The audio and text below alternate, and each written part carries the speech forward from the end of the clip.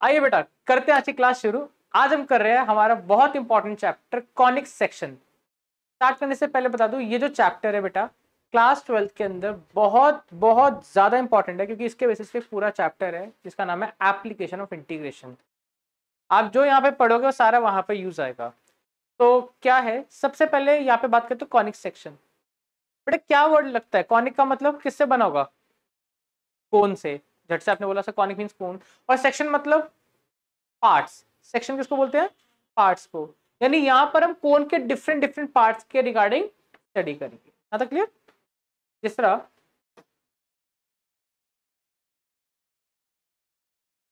एक कोन है. कोन का एक पार्ट तो मेरे को दिख रहा है. बता सकते हो क्या? नीचे. सर्कल अगर इसमें कोन को ऐसे कट कर दूँ. एक और कोन नहीं. मैंने ऐसे कट मार दिया. एक यहाँ पे ऐसे कर्व सा आ जाएगा।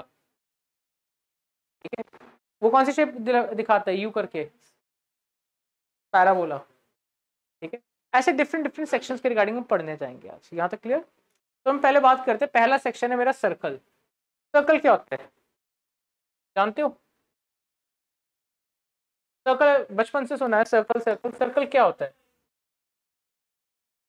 सबसे पहला हमारा।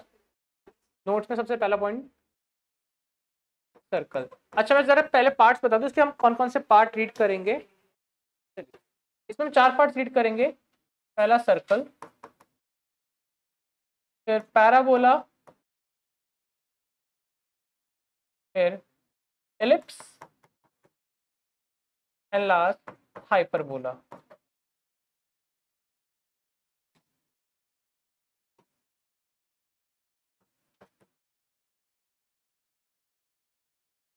आइए, पहले हम बात करते हैं सर्कल की।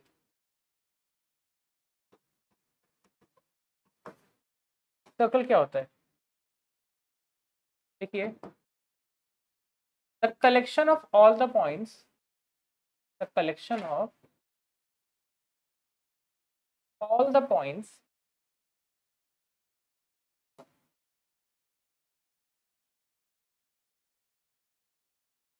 which are equidistant और इक्वी डिस्टेंट के बाद थोड़ा स्पेस छोड़ देना।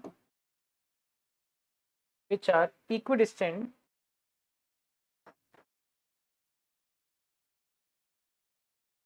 from a fix point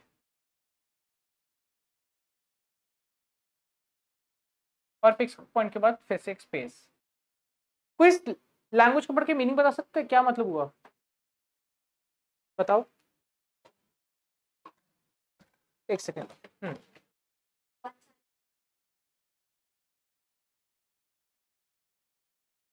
बिल्कुल ऑनलाइन में तो आंसर आ गया। देखो the collection of all points यानी वो सारे के सारे पॉइंट्स क्या है? Which are equidistant from a fix point जो एक फिक्स पॉइंट से क्या है? इक्वल दूरी पर है। यदि लेट से मैंने एक पॉइंट प्लेस करा यहाँ पर। इससे दूरी पे एक पॉइंट देखो ध्यान से एक पॉइंट रहे मान लो इससे मैं कहता हूँ फाइव सेंटीमीटर की दूरी पे एक पॉइंट है। पॉइंट क्लियर इतना? कितना? फाइव सेंटीमीटर की दूरी पे। बात समझ आई? अच्छा जी। फिर एक और पॉइंट है, वो भी कितने दूरी पर है? फाइव फिर एक और पॉइंट है फाइव फिर एंड ऐसे करते करते करते ये सारे। जब ये पॉइंट सारे इकट्ठे हो जाएँगे, कौन सी शेप बनाएँगे? ध्यान से देखना। सर्कल बनाएँगे।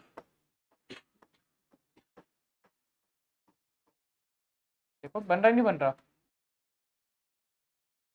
तो पहले बोलो। सर्कल की डेफिनेशन क्लियर है कि सर्कल होता क्या एक्चुअल में? वो सारे पॉइंट्स जो एक फिक्स पॉइंट से फिक्स डिस्टेंस पर हो, यानी सेम गैप पर हो। अच्छा इस फिक्स पॉइंट को क्या बोलते हैं जो फिक्स रहता है अपनी जगह पर? सेंटर फिक्स पॉइंट को क्या बोलते हैं मेरे बच्चा हम? सेंटर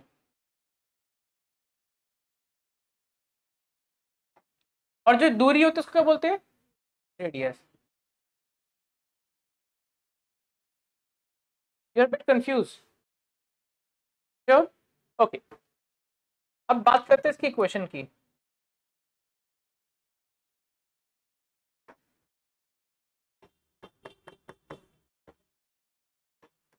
आइए।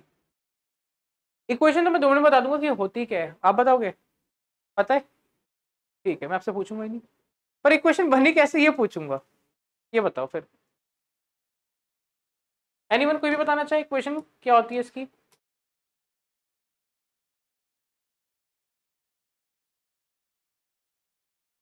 देखिए सेंटर को मैं क्या करता हूँ, जैसा सेंटर है, उसको मैंने बोल दिया ए कॉमा बी क्या बोल दिया? ए कॉमा बी और एक वेरिएबल पॉइंट है वेरिएबल पॉइंट समझे, जो क्या अपनी जगह पर मूव कर रहा है, हिल रहा है बार बार इसको लेट से मैंने बोला एक्स कॉमा वाई क्या? एक्स कॉमा वाई अब मेरे को ये बताओ, यहाँ से यहाँ तक की दूरी कैसे निकालते हैं? किसी को याद है? डिस्टेंस फॉर्मूला से। कैसे? डिस्टेंस फॉर्मूला से। आओ। Under root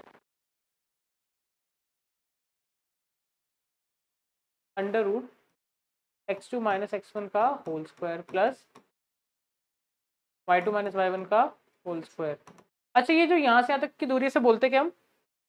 रेडियस इसे डिनोट करके मैंने आर से। क्या? आर यही है ना? ओके ना जरा वैल्यू पुट करना. क्या बनी? Under root X minus A का whole square plus Y minus B का whole square is equals to R root हटाना तो क्या करना पड़ेगा? स्क्वायरिंग एक्स माइनस ए का whole square plus Y minus B का whole square is equals to R square बोलो पॉइंट क्लियर यही मेरी क्वेश्चन होती है। तो आओ जरा इक्वेशन में लिख लेते हैं, क्या? एक्स माइनस ए का whole square plus Y minus B का whole square is equals to R square और ए बी क्या डिनोट कर रहे हैं?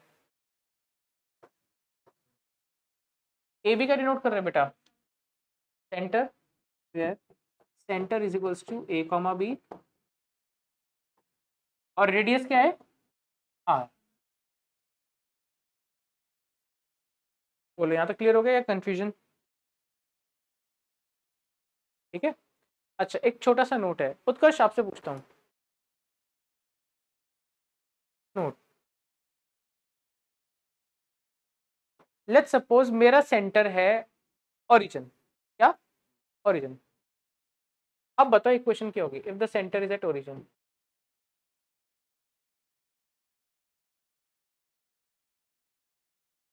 अगर सेंटर ओरिजिन पे X square plus Y square to R square, क्यों? बिल्कुल सही कहा। बेटा देखो, अगर ओरिजिन पे है तो ए और बी क्या हो जाएगा? ज़ीरो ज़ीरो, इस तरह। ए भी हो जाएगा ज़ीरो ज़ीरो। यस और नो लगा दो फॉर्मूला एक्स माइनस ज़ीरो का whole square plus Y minus zero का whole square is equals to R square क्या हो जाएगा ये? X square plus Y square is equals to R square clear ठीक है। इसे नोट करो। इसके बाद एग्ज़ाम्पल नंबर टू करके दिखाओ राइट नाउ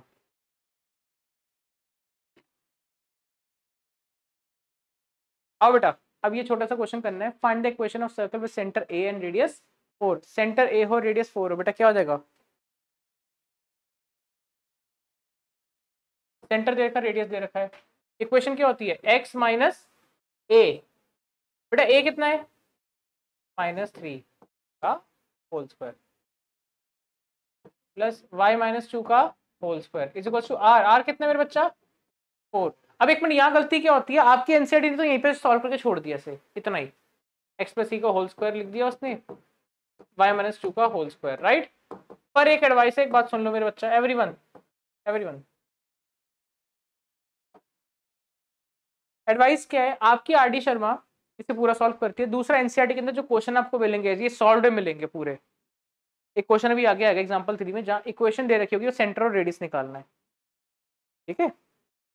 तो इसे ओपन कर देना पहले। कितने बच्चों ने ओपन करा था इसे? ठीक है nice A square plus B square plus two A B A square plus B square minus two A B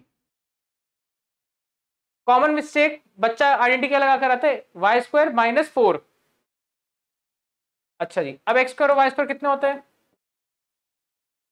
X square plus Y square six X और फोर वाई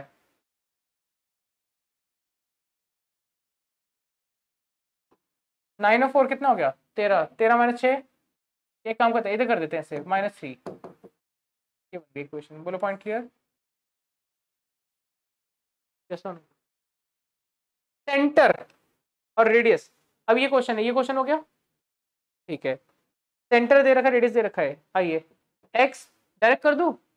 चलो minus minus A whole square plus Y minus minus B का whole square इसको radius कितना बेटा?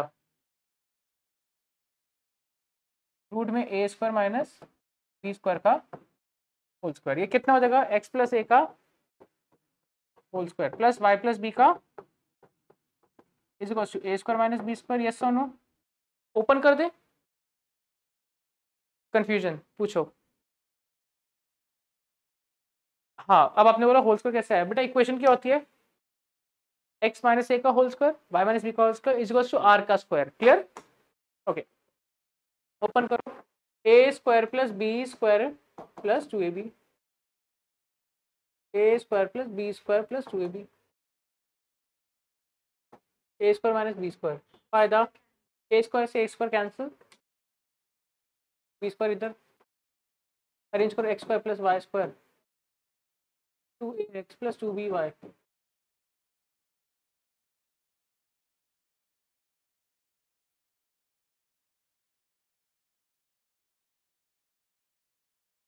clear होगी बात?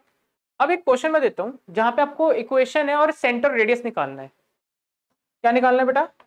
Centre और radius question है ये क्वेश्चन नंबर फाइव करके दिखाओ राइट नाउ सॉरी फाइव नहीं सिक्स है ये हमारा. बहुत बेसिक है. एक्स प्लस फाइव का whole square is equal to y minus three का होल स्क्वायर थर्टी सिक्स करके दिखाओ राइट नाउ हाँ जी बेटा, अब ये क्वेश्चन है. एक्स प्लस फाइव का whole square plus y minus three का होल स्क्वायर इसका कैसे निकलेगा सेंटर रेडियस बताओ. कॉमन सेंस एक्स माइनस क्या लिखूँगा? X minus minus five y minus three का whole square is equals to six का स्क्वायर तो सेंटर क्या हुआ? माइनस फाइव कॉमा थ्री बच्चा क्या लिखता माइनस थ्री लिख देता उठा के पहली मिस्टेक ये करिए। चलो आर रेडियस कितना देगा सिक्स यूनिट्स दूसरी मिस्टेक बच्चा यूनिट से नहीं लिखता। चेक करना कितने लोगों ने ये एरर करा है। ठीक है। अब मैं आपको नेक्स्ट कराऊँगा कि जब इक्वेशन बढ़ी है तो कैसे करते हैं? सेंटर एंड रेडियस इसे नोट कर लो पहले.